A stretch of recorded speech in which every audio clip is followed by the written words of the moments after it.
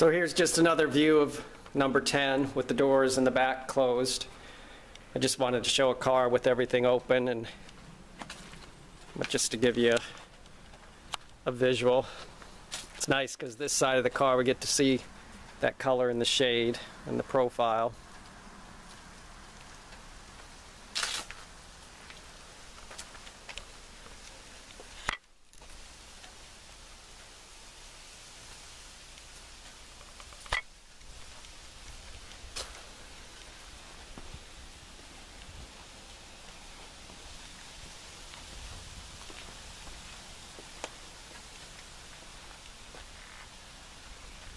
Paint has a lot of gold in it, the pearl.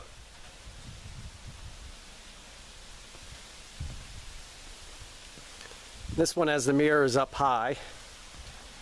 They're nicknamed hippo mirrors in the SLC world. Give you a little bit better visibility.